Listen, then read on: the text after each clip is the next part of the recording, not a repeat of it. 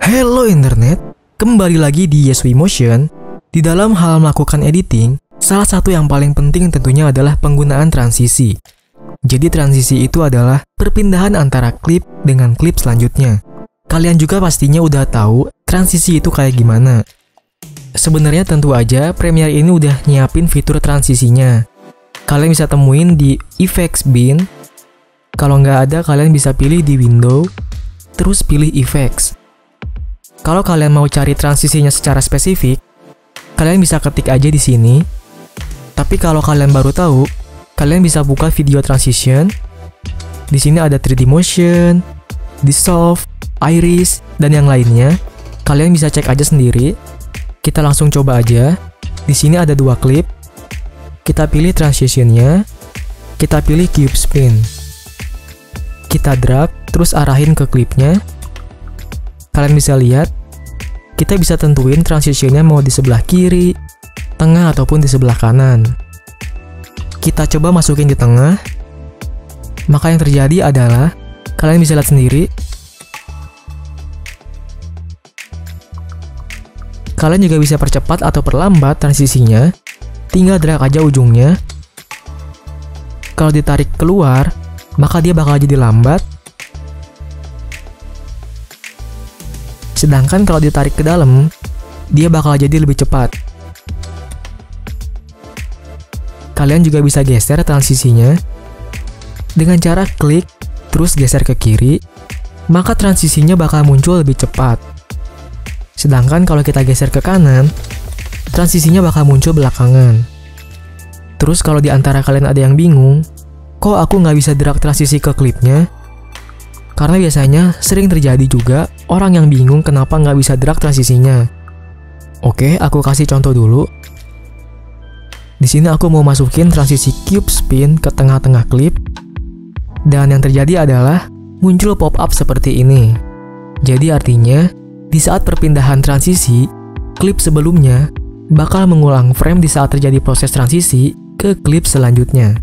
Pasti kalian bingung kan? Jadi gini, kalian bisa lihat di tengah-tengah klip ini sampai di sini klip sebelumnya bakal mengulang frame alias stuck. Kalian bisa lihat dan perhatiin baik-baik, tepat di tengah-tengah klip ini, klip sebelumnya bakal mengulang frame atau stuck. Kalian bisa perhatikan aja burungnya diam nggak bergerak.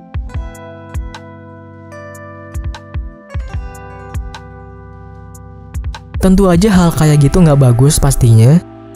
Gimana caranya mengatasi hal kayak gitu? Caranya adalah usahakan kedua klip, baik yang sebelum atau sesudah, kalian sisain beberapa frame. Contohnya klip yang ini, aku potong lebih awal. Begitupun klip yang ini juga aku potong ke kanan. Yang jelas, kalian tetap harus cek bagian mana yang kalian mau. Oke, di sini cukup. Terus kita gabungin lagi klipnya. Sekarang kita masukin lagi transisinya. Dan kalian bisa lihat, framenya nggak stuck atau mengulang-ulang. Bisa kalian lihat perbedaannya dengan yang sebelumnya. Sekarang si burungnya masih tetap jalan, nggak diem.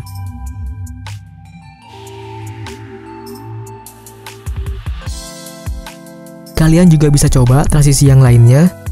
Semakin banyak frame yang kita potong, maka kita juga bisa semakin perlambat transisinya kayak begini.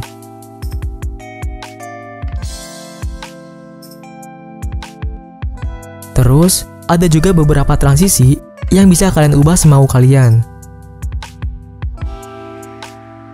Contohnya di sini ada push transition. Kalian klik transisinya, terus pergi ke effect controls. Di sini ada beberapa opsi transisi. Di pojok sini, kalian bisa pilih mau transisinya dimulai dari atas ke bawah, dari bawah ke atas, dari kiri ke kanan, atau dari kanan ke kiri. Aku coba pilih yang dari atas ke bawah, maka hasilnya seperti ini. Oke, jadi itu dia penjelasan mengenai transisi.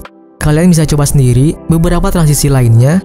Semoga penjelasan tadi dapat berguna dan bermanfaat untuk kalian semua. Tunggu terus video-video selanjutnya. So let's editing and see you.